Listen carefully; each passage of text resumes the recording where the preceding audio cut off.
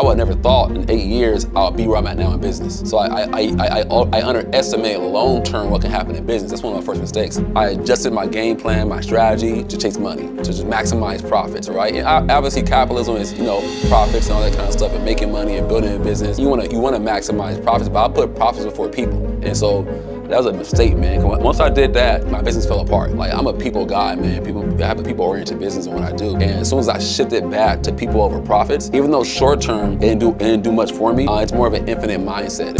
Sold out service, and you know we've been working. We serving, we earning. The watches, it's hurting. Big heart, but it started with Chris. Seen a lot when it comes to this biz. Don't serve, don't earn. Gotta shift keys to be a capitalist.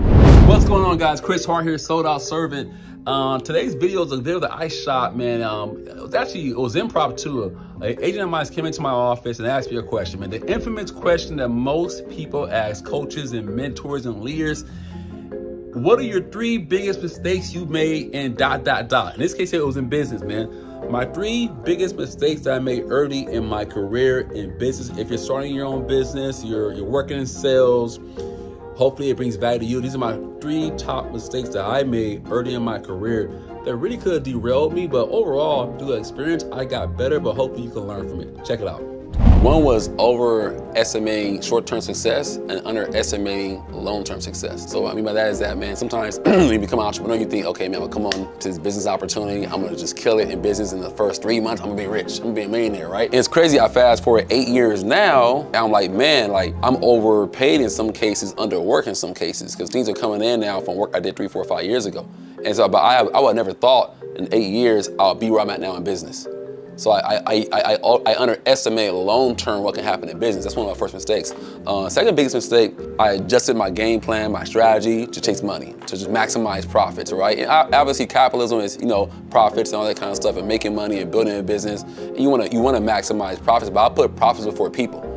And so that was a mistake, man. Once I did that, my business fell apart.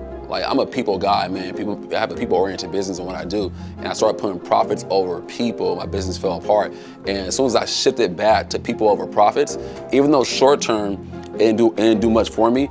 Uh, it's more of an infinite mindset. There's a book by a guy named Simon Sinek called The Infinite Game.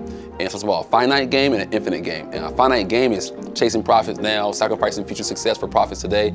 And the infinite game says, hey, I'm playing this game, my long-term vision, my strategy, everything I'm doing is based off of long-term what has the biggest impact on everyone, myself, my, my, my profit, uh, my, my, uh, my, my, my clients, customers, everybody. So that was probably a big mistake I made for sure, man. And the third one would be really um, biggest mistake is really just um, it may sound crazy, maybe a small one, man, but for me, um, going going going full time too early in business.